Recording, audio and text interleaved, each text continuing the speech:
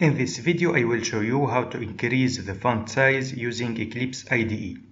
So we have to click on Window, then Preferences, then in this window we have to select General, so let's expand this, then let's expand Appearance, then let's select Colors and Fonts, and here we have just to expand Basic. So this is Basic, we have just to expand it and if we scroll down we have to select text font. And here we can edit this text font. So we can for example select the size 12 instead of 10 now let's click on ok and apply and close. Now the font size has changed. So if I open another Java class in another project I can see that the font size has changed also. So let's open another file.